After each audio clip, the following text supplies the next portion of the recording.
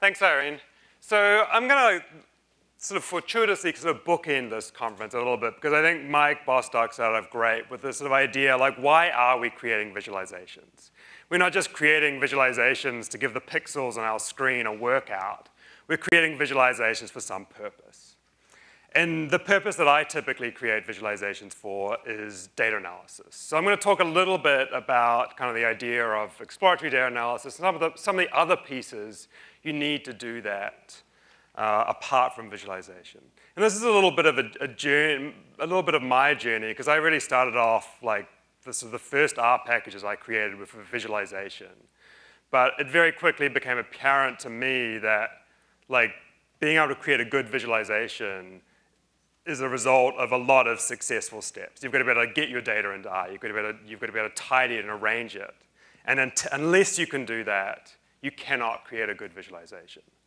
And so I have this sort of, this is my sort of little mental model of uh, data analysis tools or data science tools that you've always got to start. The first thing you can do, you have to do, is you have to import your data from whatever crazy format it currently lives in into your data analysis environment of choice. Now, that for me obviously is R, but I think this applies regardless of what you're using. Then I think it's a really good idea uh, to store your data in a consistent format. I'm not going to talk about this too much, but I think if you do ever use R, I'm just learning about this idea of tidy data, incredibly powerful idea, because the idea is you put your data in this one format, and you leave it in that format, and you're not kind of constantly like ramming the output from one function to the input for another function. Then there's sort of three main tools for actually understanding a data set. You're going to do some sort of transformations. You're going to do, you might be doing very simple things like counting. You might be just changing the order. You might be creating new variables that are functions of existing variables. Like simple stuff, but, but often very important. And there are two main, really big toolkits that are useful. Uh, visualization which is obviously the uh, focus of this conference, so I'm not going to talk too much about this. But visualization fundamentally is a human activity. This is making the most of your brain. And visualization, this is both the strength and the weakness of visualization. You can see something in a visualization that you did not expect and no computer program could have told you about. But because a human is involved in the loop, visualization fundamentally does not scale. And so to me, the complementary tool to visualization is modeling. I think of modeling very broadly. This is data mining, this is machine learning, this is statistical modeling. But basically, whenever you've made a question sufficiently precise, you can answer it with some numerical summary, with some, with, or summarize it with some algorithm. I think of this as a model. And models are fundamentally computational tools, which means that they can scale much, much better. As your data gets bigger and bigger and bigger, you can, you can keep up with that by using more sophisticated computation or simply just more computation. But every model makes assumptions about the world, and a model by its very nature cannot question those assumptions. So that means at some fundamental level, a model cannot surprise you.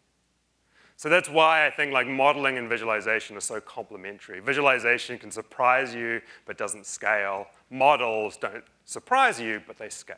So the vast majority of real, any real data analysis, any real data science project is going to involve doing these things again and again and again. And then at some point, which I'm not even going to really touch on today, except I'm going to be doing it to you, you have to communicate the results of your analysis. Now, visualization also has a really powerful role to play here as well. It's a great way of getting that, those insights that are in your head into the heads of other people. But I'm not going to talk about that today. So today I want to kind of focus on this, this explore part of this, this transforming, this visualizing. not really going to do any modeling today, but and I sort of, I, I don't want to talk about this like abstractly, I want to talk about this concretely. So what I'm going to do is I'm going to show you two examples. And I thought, I was trying to think like what, what data is the most interesting data to show you? And really, personally, I think the most interesting data is data about me. So I'm going to show you two little data explorations that I've done recently for fun. The first one, we're going to kind of look at my patterns of GitHub commits, and then we're going to look a little bit at uh, places that I've traveled to, And then finally, we're going to kind of culminate them in this diagram where we look at my GitHub commits based on the time of day and the time zone that I'm currently at and whether or not I'm traveling. So I'm going to do this with a live demo. Not only as a live demo, hopefully uh, I have enough battery. Uh, I am also using the development version of a number of packages and the development version of RStudio, so wish me luck. So let's, I'm going to load a bunch of R packages. Um, I'll talk a little bit later about some of these packages so you can at least look them up if you're interested. And I'm going to write a couple of helpers. This is just going to like scrape the data from GitHub using uh, GitHub's API. And I'm not going to live that dangerously, so I have actually cached all this data locally. I am not going to download it live for you, but uh, what I'm doing, basically, I've got to do this, uh, to get this data, I've got to two, do it in two steps. First of all, I have to ask GitHub what are all of the repos I've contributed to. I've just asked it for what I am reasonably certain is the last 100 repos that I have uh, touched. And then I'm going to go and get all of the commits to all of those repos. Now, this takes a little bit longer, but it, I've cached it locally and then um, we can just take a look at this. So this is a JSON file, which is basically a hierarchical structure. You can see I've got a whole bunch of repos. If I drill down into a repo, inside that repo, I've got a whole bunch of commits, and then I've got some information about each commit, which is like the SHA, which is the unique identifier. Then we've got some information about the commit itself, like who committed it. Well, this one is not me, this is Scott. Uh, what it was about, and somewhere in here, oh, in here, when that commit occurred. So what I'm going to do is I'm going to do a little bit of uh, scripting, and I am going to do, that would be helpful, but it is the wrong uh, plug. Uh, I, I, think we'll, uh, I think we'll manage. This is going to be like one of those horrifying, there's the, if anytime anyone ever posts a screenshot of their phone on Twitter, there's always like 2% battery left. But. I like to live dangerously. So uh, what, what I really like, uh, Jenny Bryan has a fantastic uh, name for what I'm going to do next, and that's rectangling.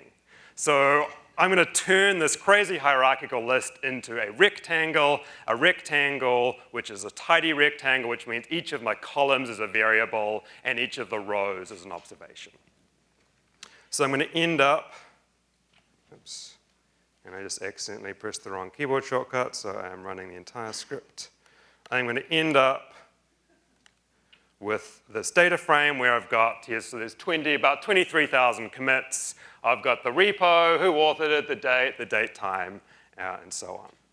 Now, I've done a couple of little tricky things here. So originally, this, this data starts out, this data from GitHub has a date time. So this is both, this is the exact instant and time that that commit was occurred. And I'm going to partition this into two things, into a date and into a time. And I'm going to do this uh, partitioning thing in a really uh, kind of tricky, or perhaps, well, very hacky way. I'm basically going to say I'm just going to convert all of the years, months, days, and seconds to exactly the same time. So I'm going to set, so I'm just going to have basically times on January 1st, 2016, which, which was basically in work. But this idea that I've got this variable, I want to partition it into two pieces, is a really, really useful idea. So done that. The first thing you do whenever you've got some data from somewhere, uh, it's a really good idea to take a look at what's in there. So I just counted like the number of commits in each repo. There are some surprises here. So for example, the sparklyr repo, I'm like, well, I haven't really done anything on that. I worked on dplyr and a few of these other things. But so, so that kind of looks okay, but when we look at this, the count of authors, you'll see there's 22,000 commits here, and only 4,000 of them are from me. So, for, so with this GitHub API, there's no way to get just the data about me. I've had to pull in all this data about other people I couldn't care less about. So I'm going to get rid of those. Uh, I'm going to do a little bit of filtering just to basically look at the last year's worth of data, and then I'm going to arrange it in chronological order and just, just take a quick look at that again. And again, somehow I've managed to put the wrong keyword shortcut. Oops. And let's just take a look at that. So 3,000 commits now, and you can see you've got the, the, name of the repo, who authored it, that's always going to be me, the SHA, and you can see uh, all of my gimmick commit, which is things like don't need explicit slashes, I guess. Fortunately, there's no uh, cussing on this page. The other thing I'm going to do here, which I think is a really great practice when you're doing a data analysis, is I'm just going to dump this out as CSV. And because I am using Git here, I can easily take a look. Wow, that's interesting. And you can see there is some massive oops, massive diff there, which is, yeah, thanks. Uh, massive diff, which is suspicious that the data has changed so much the last time I ran this, which was only a little while ago. But so if you're doing a real analysis, you'd be like, hey, what the heck is going on there? But I'm just going to press on and hope everything is okay. So one of, the, one of the reasons I started looking at this data originally was I sort of wanted to try and feel like this is sort of like some self-reflection. Like what, what is it that I've actually been working on recently? So the first plot I'm going to do is just a plot. Again, if you've never seen R code before, hopefully this is, I guess, how many of you do use R? Okay, cool. So even if you've never used R before, hopefully you'll be able to make out kind of what's going on here because the structure of this code is designed to help not only communicate to the computer what's going on, but to communicate to other people. So here I'm creating a, I'm taking this data set, the Hadley data set. This thing is called a pipe. This is basically just going to feed this data set into this step, and it's most easiest to pronounce this as then. So take the Hadley data, then pipe it into ggplot, and here I'm just saying on the x-axis, I want the date. And on the y-axis, I want the repo. And I'm going to display that using a geom, that's short for geometric object. And I'm going to use a quasi-random geom. So this is basically instead of, well, actually, let's just do it with, let's do a scatter plot, first of all, just so you can see why uh, scatter plot is not very good. Let's do a scatter plot here, run this code, and well, you can't really see anything, which is uh, part of the point. But you see here with the scatter plot, just because I'm just drawing points, those, those points ended up plotted on top of each other, and it's hard to see like the relative density. So what I'm going to do instead is use this uh, quasi-random, and I'll uh, show you on the slide a little bit later if you'd like to learn more about that. But this basically just adds a little bit of random noise. It spreads those points out so they don't overplot so much. So that's better. There's still way too many. This is showing you every single repo I've contributed onto in the last year. That's a huge amount of data. The screen is not very high resolution, and it keeps flicking on and off. Um, but I can only fix one of those problems. And so what I'm going to do is I'm just going to lump together a whole bunch of those category, a whole bunch of those repos into an other category. Really, just going to swap ports in the hope that that will make things slightly better.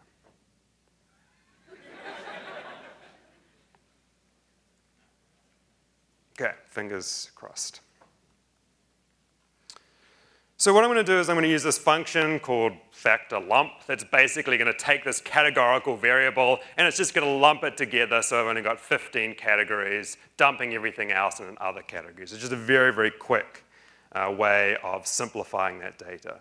And maybe since the screen is so big, so small, I'll just jump it down to 10. So now you can see the 10 repos that I've contributed most to, and the rest are all lumped into this other category. Now this is a step forward because we've kind of got rid of a lot of the small scale stuff so I can see the big picture. But how the, how's the y-axis ordered? Well, currently it's just ordered alphabetically, which is, I mean, it's okay, I guess. But I think it would be more useful if I could order it so that the things I've been working on most recently are at the top. So I, I want to improve this visualization, right? But to improve the visualization, I have to modify the underlying data. So what I'm going to do is I'm going to reorder this to reorder the repo by the average date. And then for various not that interesting reasons, that's going to end up with the most recent stuff on the bottom. And certainly we learned yesterday from Matthew that maybe that makes sense for your culture, but for me that looks weird, so I am then going to reverse it. So you can sort of read this pipeline as a series of imperative statements. Take the repo, reorder it according to the average date, then reverse that ordering Oh, and then don't forget to lump together so you've just got the 15 or the 10 most common repos. So now you can see kind of chronologically, I guess, like, yeah, going down to the oldest repos at the top, moving down to the things I've been working on most recently at the bottom. And one thing you can kind of see here, I think, is that I'm pretty bursty right, you'll see that like for a lot of these packages, there's a whole bunch of commits, and then nothing happens for a long time. You might also notice something's going on here. We've got two packages, right, where it seems like they've been like working on them exactly the same time. Well, it turns out that this, if you, if you want to artificially inflate your GitHub commits, it's uh, very easy to do that. It turns out these are actually the same commits, but this was a project that got split into two pieces. And those kind of historical commits ended up in the same place. So we could weed those out um, by looking at that unique identifier, that SHA, but I couldn't figure out a simple algorithm for deciding like which was the, which repo should that belong to, so I just left them in there. The other thing I was sort of interested in is like introspecting on like, when do I work? What is my working process like? So what I'm going to do is I'm going to create a new variable. Oops, no, I'm not. I am just going to plot those two date time variables. I'm going to put date on the x-axis as the first argument, and then the time of day on the y-axis, and again display that with this quasi-random plot. And this is okay, I think. But I'm going to tweak it a little bit. I'm just going to kind of round each day. Like uh, there's so much, there's so many days on the x-axis. It's hard to see the, the fine scale detail. So I'm just going to round it to a week. So we're just kind of seeing like what, is, what, are, what are the times that I work on code look like across multiple weeks. And it looks like you can kind of see I've made sure this is the right time zone that I'm in. And so you can see normally I don't do much work before 6 a.m. and much work after 6 p.m., although there are a few exceptions, right? And uh, this certainly was not me getting up at like 3 in the morning to, to program. This, well, my speculation is at this point, without looking at any more details, this is when I was in some other time zone, right? So it wasn't that my working times had changed, or that I'd changed to a place where the times were different. And we'll, we'll come back to that a little bit later.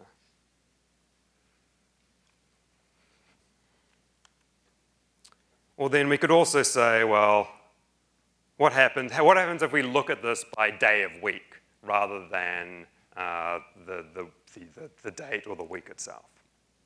And so you can see I'm kind of like a, I'm not really a hobbyist programmer anymore. I'm like a professional programmer. I just pay, I just work when I get paid to work.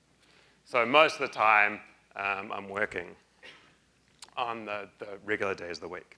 Now, to create this plot, I've had to do some more data manipulation again, right? I've had to create a new variable from that date time that gives me the day of the week. And for reasons unknown to me, uh, R has decided that Saturday is the first day of the week, right? And that, well, not, well, I guess actually Sunday is the first day of the week, and we're going to go from the bottom up. So again, to create a, a, a more natural visualization, I have to do a little data manipulation here, which I did have in here previously, but I have accidentally deleted. So what I'm going to do is I'm going to take this weekday and I'm going to use this function called shift, which just kind of like shifts the bottom to the top. And then I'm going to reverse the order of that. Just to create a more natural, to me, more natural order where the weekends are next, the two days on the weekend are next to each other, and Monday is at the top of the plot and time proceeds downwards. So this is like to create this visualization, this is a really simple visualization, right? This is a scatter plot. Most of the challenges to create this visualization are not in the visualization. It's getting the right data aggregated in the right way, broken down, taking this date time thing and breaking it down into more, more variables that are more informative, like the, like the day of the week and the time of the day. Now, what I wanted to do next, well, so when I look at this, right, we identify most of the time I work between 6 a.m. and 6 p.m., and at least if you know me as well as I do, uh, you would imagine that maybe I'm traveling on these times. So the thing I'd, I wanted to look at next was my travel data. And to be honest, the reason I originally looked at this travel data uh, was laziness, because I've recently decided to become a US citizen.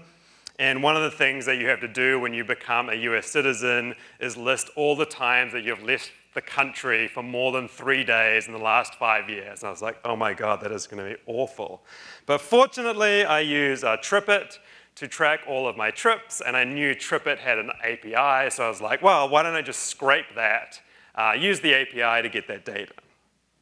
And that uh, led to this part of the process, which I evocatively call endless stream screaming, um, which was basically trying to figure out how to correctly auth uh, against TripIt's API, which uses some crazy non-standard OAuth thing, but then I carefully read the web page and discovered that if I um, emailed them and asked them nicely they could uh, turn on basic auth, so I can do that, and I'm going to enter my password in a way that you can't see it, so you don't hack my TripIt.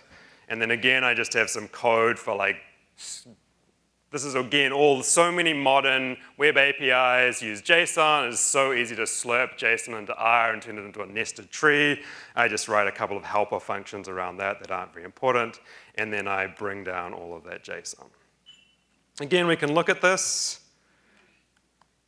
with, just to take a look.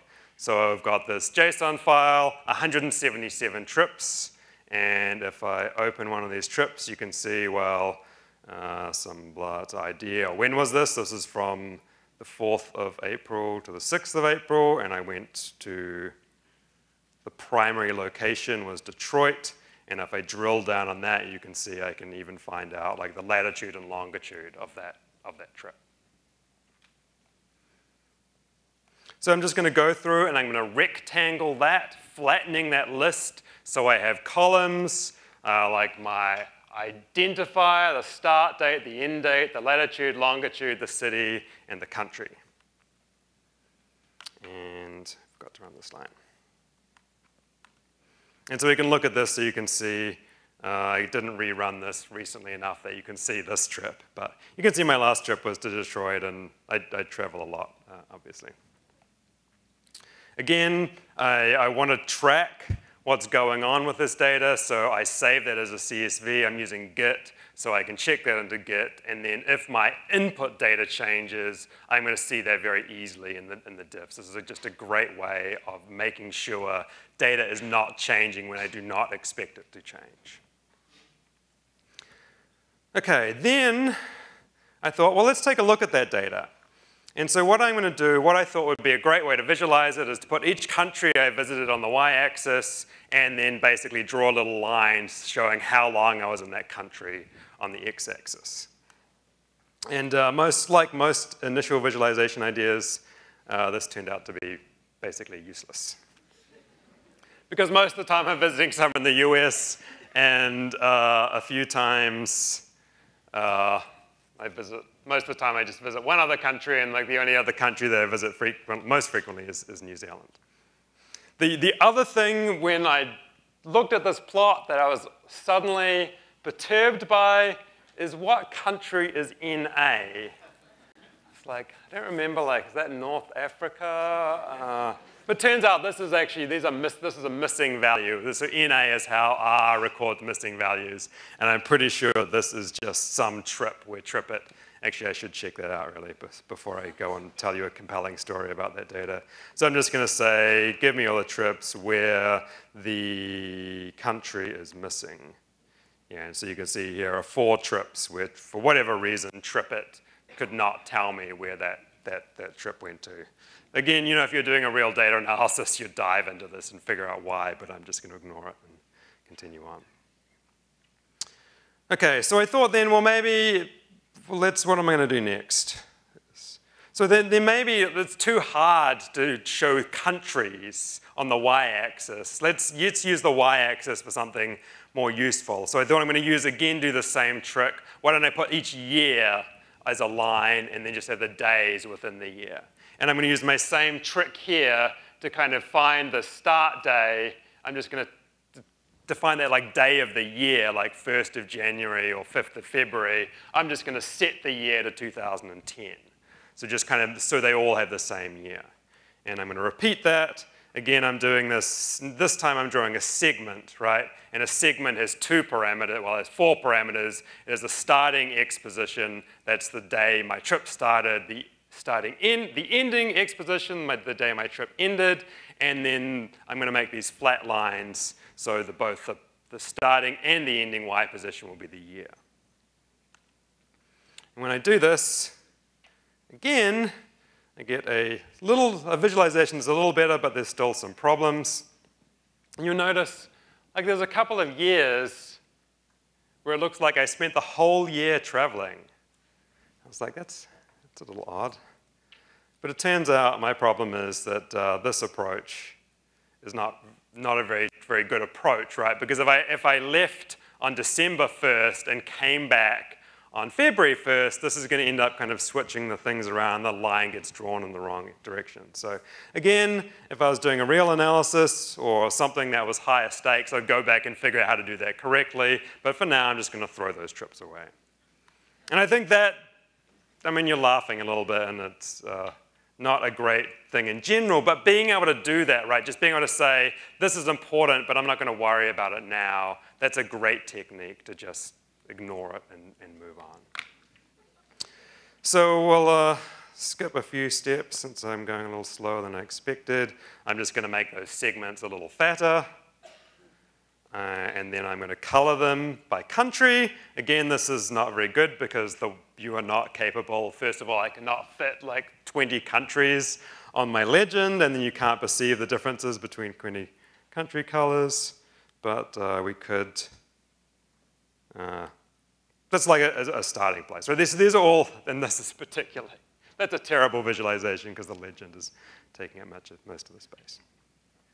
But again, like so many of these challenges are not about the visualization, but about the data. And sometimes the visualization makes me think, well, I need to change this in the data, and then sometimes the data suggests things I want to visualize.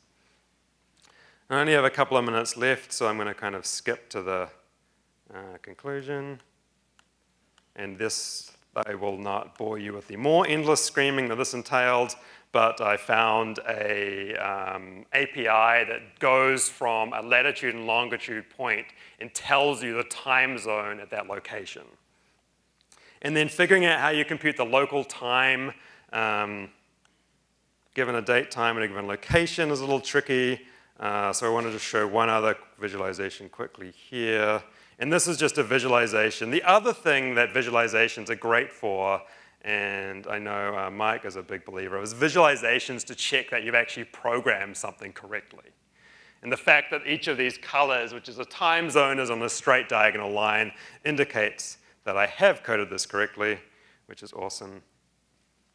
And then I can, uh, oops, skip to this very,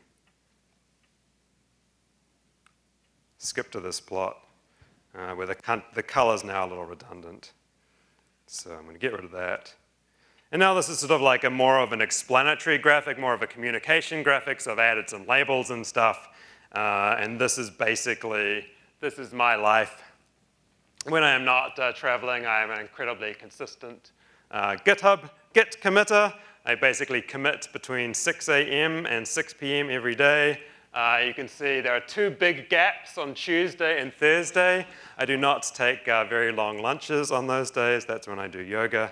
And you can see I hardly ever practice, uh, hardly ever code on the weekend. Uh, but when I'm traveling, well, again, I tend to not code before 5 a.m. and I don't, well, I code quite late at night. Much, much, much more variation because all of my daily rituals are now uh, gone.